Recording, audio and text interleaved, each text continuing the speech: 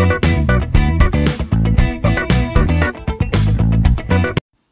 दोस्तों, आज राजरीफ के अंदर तेईस तारीख को यूपी की भर्ती चली हुई है और भर्ती में काफ़ी ज़्यादा रश हुआ है, काफ़ी भीड़ है भर्ती में। तो वीडियो आ गई है सुबह सुबह देख लो आप किस तरह भर्ती चली हुई है।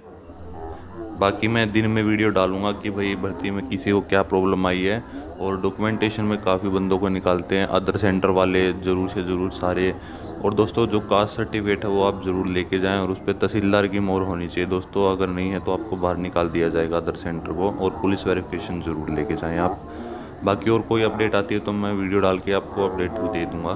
धन्यवाद।